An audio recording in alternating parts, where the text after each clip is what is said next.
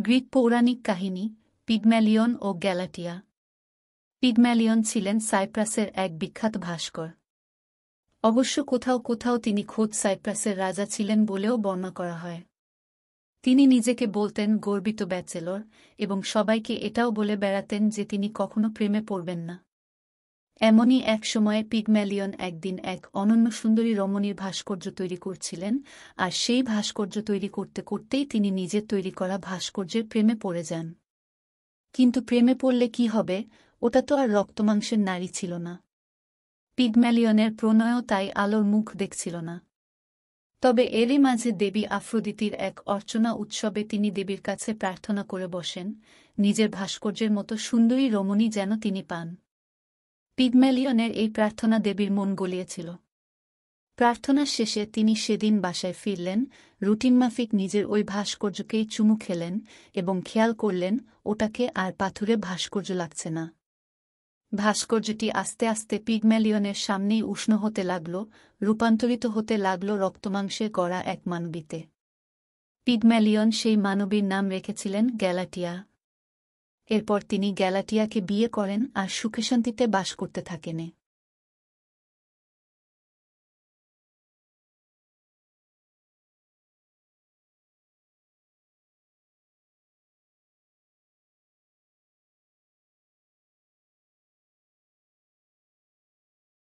Greek পৌরাণিক গল্প, ইরোস ও psyche. Psyche ছিল গ্রিসের এক রাজার সবচেয়ে ছোট মেয়ে। রাজার তিন মেয়ের মধ্যে সাইকি ছিল সবচেয়ে সুন্দরী। তার সৌন্দর্য এতটাই বেশি ছিল যে সে সময়ের লোকেরা ভাবত, সাইকি হয়তো কোনো দেবী। কিছু কিছু লোক তো আফ্রোদিতির জায়গায় সৌন্দর্যের দেবী হিসেবে সাইকিরও পূজা করত। আর এসবই দেবী আফ্রোদিতিকে রুষ্ট করে তোলে। তিনি সাইকির ওপর প্রতিশোধ নেওয়ার কথা ভাবতে থাকেন। প্রতিশোধের অংশ হিসেবে তিনি সাইকির কাছে পাঠান নিজের পুত্র, প্রেমের দেবতা ইরসকে। ইরসের উপর নির্দেশনা ছিল, তিনি যেন সাইকিকে অভিশপ্ত তীর মেরে এমন করে দেন যেন সাইকি কুৎসিত ও কদাকার কোনো কিছুর প্রেমে পড়েন। মায়ের আদেশ পালনে ইরোস সেই রাতে উড়ে যান সাইকির প্রাসাদে। সাইকির শয়নকক্ষে গিয়ে তিনি ধনুকে তীর লাগান, কিন্তু শেষ অবধি ইরোসের আর তীর ছোড়া হয় না। ঘুমন্ত সাইকিকে দেখেই ইরোস প্রেমে পড়ে যান, আর তীরবিদ্ধ করা ব্যতিরেকেই তিনি মায়ের কাছে ফিরে যান। এদিকে সাইকির বাবা তখন ভবিষ্যৎবাণীর মাধ্যমে জানতে পারেন সাইকির কারণে তার রাজত্বের সমস্যা হতে পারে। সাইকির বাবা তৎক্ষণাৎ সাইকিকে পাহাড়ে পাঠিয়ে দেন আর সেখানেই সাইকির সাথে এক কুৎসিত বস্তু বিয়ে ঠিক হয়। তবে ঘটনা এরপরই মন নেয় অন্যদিকে। সাইকিকে হুট করেই দেবতা জিফাইর ইরোসের প্রাসাদে পাঠিয়ে দেন। সেখানে সাইকির দিন ভালোই কাটছিল। তার ওপর শর্তারোপ করা ছিল তিনি কখনোই কার সাথে তার বিয়ে হয়েছে সেটা দেখতে পাবেন না। আসলে সাইকির বিয়ে ইরোসের সাথেই হয়েছিল, কিন্তু তিনি যদি ইরোসের মুখ দেখে ফেলেন তাহলে বিচ্ছেদ অনিবার্য। কিন্তু একদিন এই ঘটনাও ঘটে গেল। নিজের বোনদের প্ররোচনায় সাইকি একদিন নিজের স্বামীর মুখ দেখে ফেলেন আর দেখেন তাকে যে কুৎসিত বস্তুর সাথে বিয়ে দেওয়ার জন্য পাহাড়ে নিয়ে যাওয়া হয়েছিল, এটা আসলে মোটেও সেই কুৎসিত বস্তু নয়। সে দেবতা ইরোস। এদিকে সাইকি ইরোসকে দেখে ফেলায় ইরোস ভীষণ রেগে যান, তৎক্ষণাৎ তিনি শয়নক্ষ ত্যাগ করেন। দেবী আফ্রোদিতি সাইকির এই শর্তভঙ্গে ভীষণ রেগে যান। তিনি প্রতিশোধ নিতে সাইকি আর ইরোসকে দীর্ঘদিন আলাদা রাখেন। সাইকিকে পুনর্বার তার স্বামীকে দেখার জন্য এরপর অনেকবার পরীক্ষার সম্মুখীন হতে হয়েছিল। যদিও সাইকির এসব পরীক্ষা ইরোসের একদমই ভালো লাগছিল না। তিনি নিজেই একসময় আফ্রোদিতির প্রতিশোধ উপেক্ষা করে সাইকিকে খুঁজে বের করেন আর সুখে শান্তিতে বসবাস করতে থাকেন।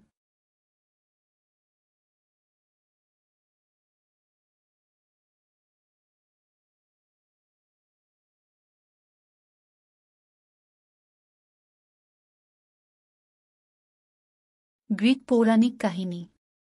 হেরো ও লিন্ডার। হেরো ছিলেন আফ্রোদিতির ধর্মাজিকা। তিনি ছিলেন কুমারী। পুরুষের সাথে যে কোনো প্রকার অনুভূতির আদান প্রদানে তার উপর নিষেধাজ্ঞা দেওয়া ছিল। গ্রিসের হেলেসপন্ট স্ট্রেইটের এক উঁচু চূড়ায় ছিল এই নারীর বসবাস।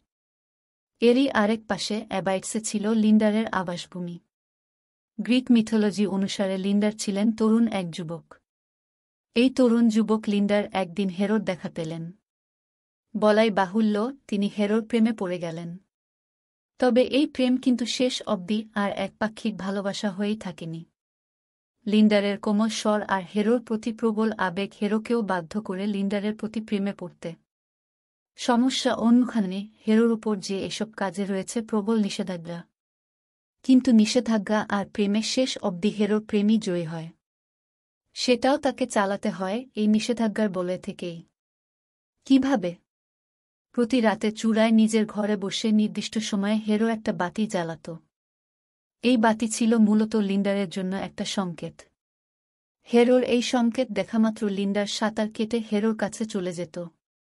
এমন করে হেরো আর লিন্ডারের প্রেম বেশ ভালোভাবেই চলছিল, কিন্তু বিপত্তি বাঁধল এক রাতে। সেই রাতে ছিল ভীষণ ঝড়ো, বাতাসেও ছিল প্রচণ্ড বেগ। আর বাতাসের সেই বেগের জন্যই হেরোর জ্বালানো বাতির আলো হঠাৎ করেই নিভে যায়।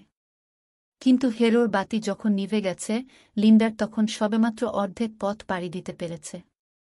লিন্ডার তখন বাতির আলো খুঁজতে থাকে, তাকে যে ওই আলো বরাবরই সাঁতার কাটতে হবে। কিন্তু বাতাসের তোরে হেরোর বাতি আর সেই রাতে জ্বলেনি। লিন্ডার শেষ অবধি ঝড়ের কবলে পথ হারিয়ে পানিতে ডুবে যায়। হেরো প্রবল দুঃখে ওই চূড়া থেকেই ঝাঁপ দেয় পানিতে। পরে অবশ্য হেরো আর লিন্ডারের ঠান্ডা দেহ সৈকতে পাওয়া যায়। দেখা গেল, দুজন দুজনকে শক্ত করে আলিঙ্গন করে আছে।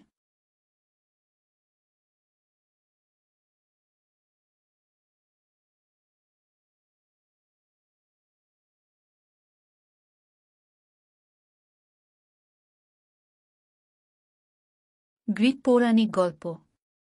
আটালান্টা ও হিপোমিনিস। আটালান্টা ছিলেন কুমারী এক শিকারী। শুধু শিকারী বললে অবশ্য আটালান্টার দক্ষতাকে খাটো করা হবে, বরং বলা ভালো, তিনি ছিলেন দক্ষ শিকারী। গ্রিসের কোনো শিকারী তাকে হারাতে পারত না। দৌড়বিদ হিসেবেও আটালান্টার বেশ সুনাম ছিল। তবে আটালান্টা ছিলেন প্রেমবিরোধী। তিনি পণ করেছিলেন, তিনি কোনোদিনই বিয়ে করবেন না। তবে এই বিয়ের ব্যাপারে তিনি সবাইকে এক চ্যালেঞ্জ ছুড়ে দিতেন, আটালান্টাকে বিয়ে করার আগে যে কোনো পুরুষকে আটালান্টার সাথে এক রেসে অংশ নিতে হবে। সেই রেসে যদি আটালান্টাকে তিনি হারাতে পারেন, তবেই তিনি আটালান্টার মন পাবেন। আর যদি না পারেন? পরিণতি হিসেবে আছে সাক্ষাৎ মৃত্যু। স্বাভাবিকভাবেই তাই যে পুরুষই এসে দাঁড়াত আটালান্টার দ্বারে তাকে শোচনীয় পরিণতি বরণ করতে হতো।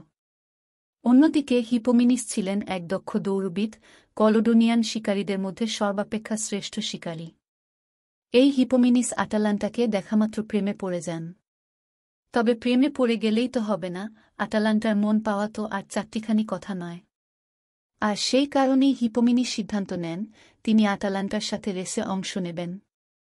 যেই ভাবা সেই কাজ, একদিন সত্যি সত্যি আটালান্টা আর হিপোমিনিস রেসে অংশ নিয়ে ফেলেন। রেসের শুরু থেকেই দেখা যায়, দক্ষ আটালান্টা হিপোমিনিসকে ছাড়িয়ে আগে চলে যাচ্ছে। তবে কি এবার হিপোমিনিসকে মেনে নিতে হবে নির্ঘাত মৃত্যু? না, হিপোমিনিস এক বুদ্ধি আটেন। তিনি আটালান্টার সামনে একটা করে স্বর্ণের আপেল ছুড়ে দেন। আটালান্টা হিপোমিনিসের ফাঁদে পা দেন, সেই আপেল তার মনোযোগ নাড়িয়ে দেয়। আপেল এড়াতে গিয়ে তিনি হিপোমিনিসের পেছনে পড়ে যান। তবে এরপরও যে তিনি হিপোমিনিসের আগে যেতে পারেননি এমনটাও নয়। তিনি পেরেছিলেন, তবে যতবারই তিনি আগে যাওয়ার চেষ্টা করেছেন, ততবারই হিপোমিনিস একইভাবে আটালান্টার পথে বাধা তৈরি করেছে। শেষ অবধি এর চেয়েও বড় বাধায় পড়তে হয়েছে আটালান্টাকে। রেসে হেরে তাকে বাধা পড়তে হয়েছে হিপোমিনিসের বাহুডোরে।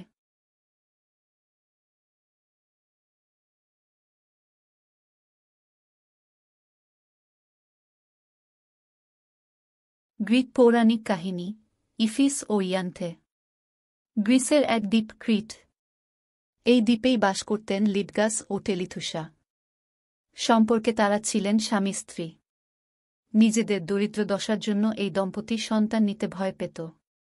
তারা ভাবত, তাদের যদি একটি মেয়ে হয়, তাহলে বিয়ে দেওয়ার সময় চড়া মূল্যের পণ দিতে হবে। এই পণের অর্থ তারা কোথায় পাবে? তবুও একটি সন্তানের আকাঙ্ক্ষা তাদের দিন দিন বেড়েই চলছিল। তাই তারা ভাবল সন্তান গ্রহণ করবে। কিন্তু লিডগাস স্ত্রীকে সাফ বলে দিলেন, যদি মেয়ে হয়, তাহলে তিনি সেই সন্তানকে খুন করে ফেলবেন। লিডগাসের এই কথা শুনে টেলিথুসা ভীষণ ভয় পেয়ে যান। এমনই এক রাতে মিশরীয় দেবী আইসিস টেলিথুসাকে দেখা দেন। তিনি তাকে বলেন, তিনি টেলিথুসাকে সাহায্য করবেন। গর্ভধারণ শেষে টেলিথুসা একসময় ফুটফুটে এক মেয়ের জন্ম দেন।